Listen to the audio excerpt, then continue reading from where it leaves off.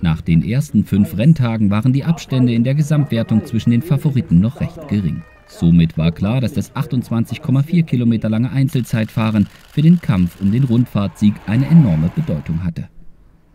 Mit Start und Ziel in Streusdorf führte der wellige Kurs in einer Schleife durch Südthüringen. Die erste Richtzeit des Tages setzte Nils Polit. Als Zehnter gestartet, konnte er es sich im Ziel eine ganze Weile auf dem heißen Stuhl gemütlich machen. Am Ende wurde er 13.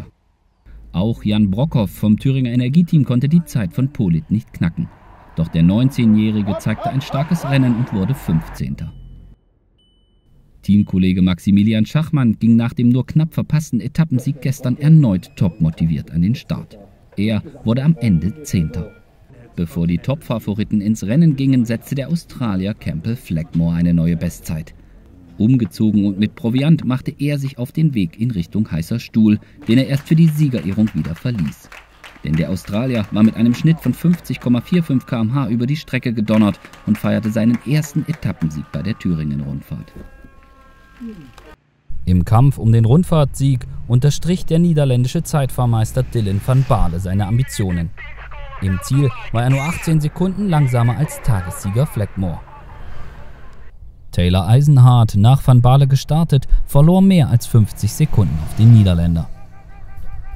Doch der junge Amerikaner sicherte sich das weiße Trikot des besten Nachwuchsfahrers. Auch Adam Phelan verlor mit 45 Sekunden viel Zeit auf Dylan van Baarle. Mit Tagesplatz 6 ist er in der Gesamtwertung nun Vierter. Als klar war, dass sowohl Simon Yates als auch Julien Alaphilippe nicht an die Zeit von Dylan van Baarle herankommen, schauten alle gespannt auf den Dänen Lasse Norman Hansen.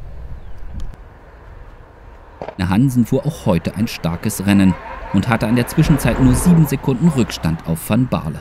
Bis ins Ziel wuchs der Rückstand dann auf 14 Sekunden an, was Platz 4 eine Position vor dem deutschen U23-Zeitfahrmeister Jascha Sütterlin bedeutete. Silvio Herklotz war im Ziel 2 Minuten 16 langsamer als Tagessieger Fleckmore und muss sein gelbes Trikot abgeben. Das trägt nun der Niederländer Dylan van Baarle. Er führt in der Gesamtwertung nun drei Sekunden vor Lasse Norman Hansen.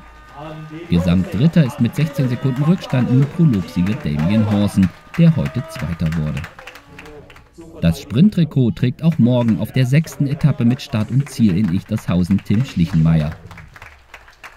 Das Bergtrikot bleibt auf den Schultern von Magnus Kurt Nielsen, dessen Teamkollege Lasse Norman Hansen nun Führender in der Punktewertung ist.